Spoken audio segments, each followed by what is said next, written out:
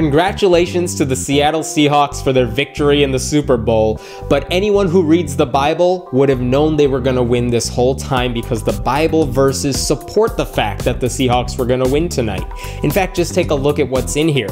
For example, look at Psalm 91, verse 4.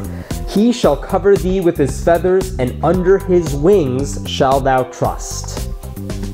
And Psalm 104, verse 12. By them shall the fowls of the heaven have their habitation, which sing among the branches. The Bible loves the waterfowl.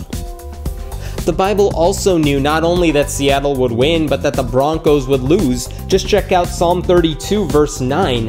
Be ye not as the horse or as the mule, which have no understanding, whose mouth must be held in with bit and bridle, lest they come near unto thee. And of course, we should have known the Bible would have predicted the Seahawks victory because the Bible loves the sea. It's on the first page, Genesis 1, uh, verse 2. And the earth was without form and void, and darkness was upon the face of the deep, and the Spirit of God moved upon the face of the waters. It's right there.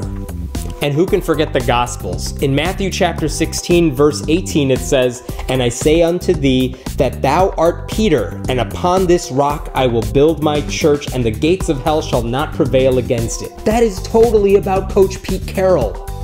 So the Bible clearly knew the Seattle Seahawks were going to win the Super Bowl.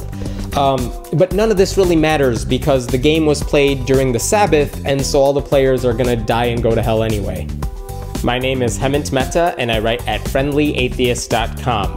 Please leave a comment below, and we will be sure to check it out.